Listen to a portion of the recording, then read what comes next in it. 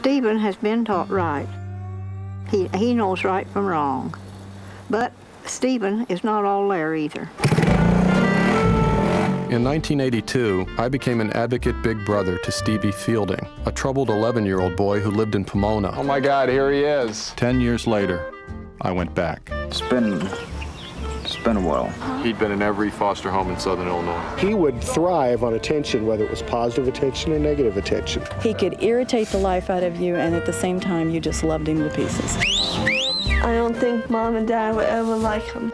Just because he wrecked my car, he drinks. Good old Jack. I think I'm the only one that sees something there that nobody else does. We had a lot of intelligent people working on him over the years, trying to come up with something, and we never came up with it. We're thinking of getting married. Am I invited?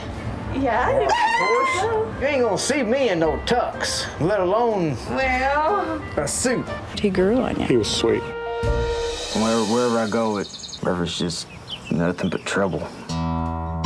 Well, no matter what he done, he's still my son. I've heard that you beat him and that you gave him to Grandma and said you raised him. If a kid stands by me and smarts off, I'm gonna slap him in the mouth. See, after she beat him that time, he couldn't talk. He completely lost his speech.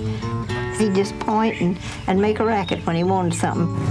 Grandpa and Grandma meant more to me than what Mom ever did. In 1981, Stevie was first placed at the Huber Boys Home. He grew up abused and neglected.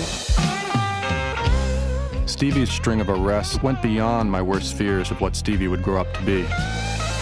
She's always told me, you're gonna go to prison. You're gonna go to prison. It's just like whenever I was a little kid, there's one word I hate the most. It's your fault.